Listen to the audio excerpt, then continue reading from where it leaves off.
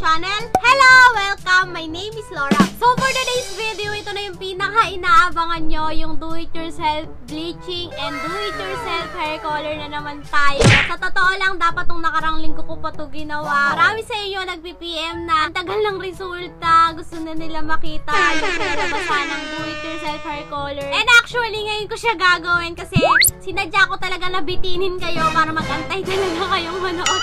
Sobrang sama naman no, pinag-antay. Hindi, kasi naging busy talaga ako nung nakaraang week. Alam niyo naman na nag-enroll kami sa school and sobrang naging busy talaga sa work. Kayo na-excite mas sobrang na-excite din ako kaso medyo kinakabahan ako ng konti kasi matcha-challenge talaga ako dito, Bessie. Ito yung kauna-unang beses na ako mismo magbe-bleach sa sarili ko. Ayan, kung mapapansin nyo, para akong bruha ngayon kasi hinawi-hawi ko na yung buhok ko kasi ito na yung pinakahuling araw ngayon dahil mapapalitan na naman yung kulay niya, papalit-palit ng kulay si ate mo, girl. So, since mag-start na tayo, hindi ko na kayo bibitinin pero bago yun, guys, ulitin ko, disclaimer lang, hindi po ako hair expert, hindi ako nagtatrabaho sa mga salon hindi ako sobrang galing sa mga pagkulay ng buhok. Ito lang talaga is yung hobby ko, yung pagkukulay ng buhok sa sarili ko mismo. Kasi nga, ba mas okay kapag tayo mismo yung gumagawa para nakokontrol natin. Pero, it doesn't mean naman na wag kayo magpunta ng salon. Pero kasi ngayon, ba naka-quarantine tayo, Bessie. Wala ka namang choice. Sarado mga salon ngayon. Pwede naman na ikaw mismo magkukulay sa'yo para na-improve mo rin yung skills mo. And at the same time, makakatipid ka, Bessie. Kasi etong gagamitin natin pang kulay ng buhok, sobrang sobrang affordable. Promise, walang halong biro. Pexman, Batman. Ayan, so ang dami ko na naman kanash of web sa inyo. Napahaba na naman ng intro natin. Hindi ko na patatagalin pa, guys. Please keep on watching and let's get started. Akin ng Coloration. Kung hindi pa kayo familiar kay Coloration, isa po siyang local brand dito sa Pilipinas wow. na nagbebenta sila ng mga pangkulay ng buhok. Bessie, sobrang daming kulay ang mabibili mo sa kanila. Napakaganda talaga ng mga pangkulay. Kung sa affordable is sobrang quality pa ng mga products nila. Walang halong MBS, totoo lang. Kasi try nyong istukin yung page nila guys. Maraming mga feedback. And mga sinanda before and after, wala kang pagsisisihan best pag nakita mo. Bubuksan na natin yung laman na box na pinadala sa akin ng coloration. So bago yon gusto ko muna mag-thank you po sa owner si Kuya Renz and si Ate Rodeline dahil napili nila akong brand ambassador. So, papakita ko sa inyo yung. Kapag binuksan natin, ayan, makikita nyo naman, di ba? Pasabog, may congratulations Laura agad. Tapos, welcome to Coloration Family. Oh, sobrang sweet ng owner. And then, kapag ka nangat natin to, ayan, makikita nyo yung complete set ng pangkulay. O, oh, di ba? And syempre, dahil mahal na mahal ko kayo, ginawan ko ng montage to mga besi para mas makita nyo ng malinaw and ng mas maayos kung ano yung mga kakailanganin nating gamit or yung mga gagamitin nating produkto sa gagawin nating do-it-yourself hair color. Eh, hair color. So, ito na guys, montage, pasok!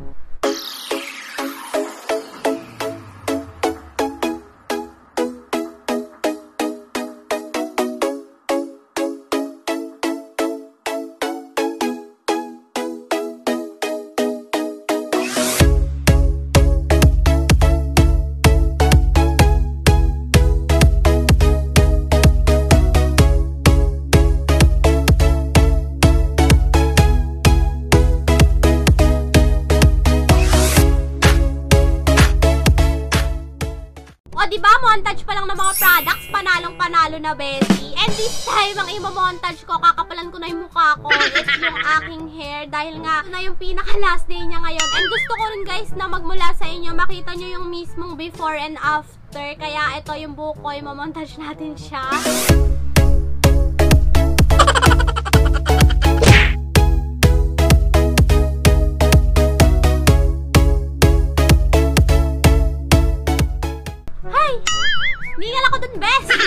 Nyo naman, minondage na natin yung mga products na gagamitin natin. Minondage na natin yung before na hair natin. So, ang gagawin natin ngayon is mag start na tayo. Medyo kinakabahan ako na na-excite. Gusto ko ngayon samahan nyo ko. Ay! Go! Mag-umpisa tayo guys dito sa plastic cover. So, ilalagay ko siya dito pang cover sa aking damit. Kasi alam niyo naman, sobrang hirap maglaba ngayon. Kaya, ingat-ingat din. Maraparaan na lang mga best kapag meron kayong plastic cover sa bahay nyo, pwede nyo naman i-reuse. Ang first step na gagawin natin mga besis, ilalagay natin tong bleaching powder and itong cream dito sa ating container. So 1 is to 1 lang mga besi. Ingat-ingat lang din dahil ang bleach ay sobrang tapang. Wow! Gaya nga na sinabi ko kanina guys, kumpleto yung pinadala ng coloration. So, ilalagay natin to sa ating tenga para hindi matapangan yung ating tenga, di ba? Hello, hello? Hello? Saan ka na? Pangalawa, magsusuot tayo ng gloves. And of course, kailangan natin magsuot ng mask kasi nga, di ba, ang bleach sobrang tapang para hindi natin maamoy. Ito mga beso, bago tayo maglagay ng bleach sa ating hair is maglalagay muna ako ng keratin. Alam niyo naman na keratin lover tayo para hindi siya mag-dry mamaya kapag nilagay na natin tong bleach. Kasi gagamitin natin keratin guys, yung Green Self Triple Keratin Rescue. Hindi nga pala ako nagbasa ng book ngayon guys, pero naligo ako half bath lang. Tapos kahapon hindi ako nag-conditioner. Shampoo lang ako para yung pangkulay na ilalagay natin is kapit na kapit.